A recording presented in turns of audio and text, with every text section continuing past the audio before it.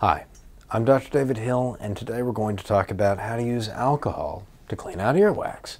Now, what are you going to need? Well, you're going to need some isopropyl alcohol. You're going to need a medicine dropper, and you might want to have some peroxide or alternately some white vinegar.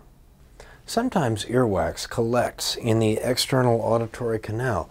That's everything from the hole where sound comes into the ear down to the eardrum. It's all part of the external ear.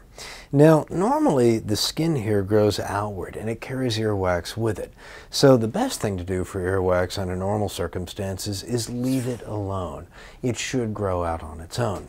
Some people have dry or flaky wax, some people have sort of sticky wax. Uh, however, occasionally wax will collect to an extent that's annoying. Now the best way to keep that from happening is never to use a Q-tip to clean out your ears. It's when you stick something down here in the canal that wax tends to get impacted. So if you never stick anything in there, you're not likely to have a wax blockage. But if for some reason you find that you do have an annoying amount of wax, you certainly can use a variety of agents to try and loosen it up, soften it, and help it wash itself out. Now there are some commercial agents that you can buy over the counter for this purpose, but if you have a bottle of alcohol around the house, you can do that as well. Now one thing I would recommend is perhaps mixing the alcohol with another fluid. You could use white vinegar or you could use um, you could use peroxide. Both of these work fine. Another thing you're going to want to do is to warm it up to about body temperature.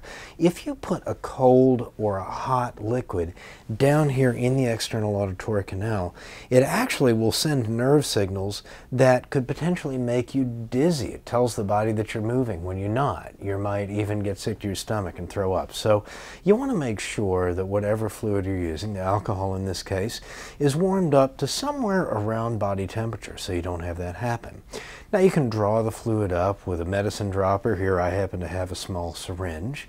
And you just want to lie on your side. It may help to pull back on this part of the ear, uh, which opens up the ear canal, and just dribble in a few drops of fluid. You're not trying to squirt hard. You can really do some serious damage to the eardrum if you do that.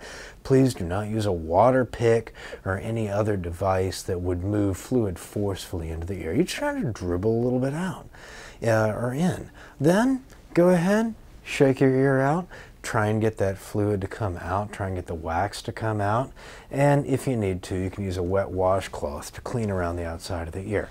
Most importantly, do not use a Q-tip or any other object to try and dig the wax out of here. Wax right here where you can see it that you can get with a washcloth, great. But if it's deep, leave it alone.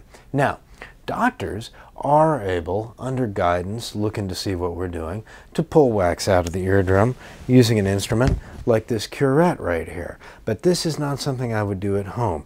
This is one person's job who has an otoscope and knows what they're doing, not the job of the person whose ear this is. So, telling you about how to clean wax out of your ear with alcohol, I am Dr. David Hill.